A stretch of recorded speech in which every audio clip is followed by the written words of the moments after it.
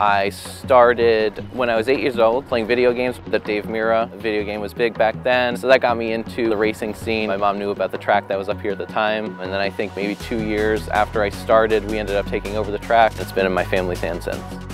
Hi, I'm RJ Vargo. I am the assistant track operator here at Cedar BMX.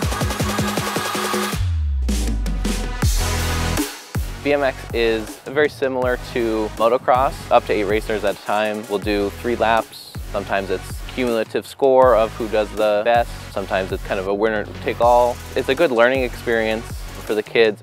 It's more than just pedaling. A lot of it isn't who's the fastest, it's who could be the most consistent throughout the track.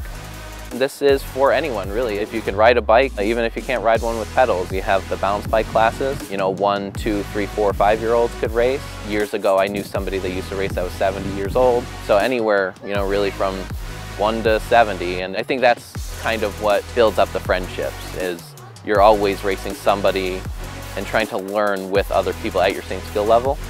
I think it's a lifestyle. Once the summer comes around and there's no snow, I'm up here three, four days a week, and it's something I, I couldn't see not being in my life.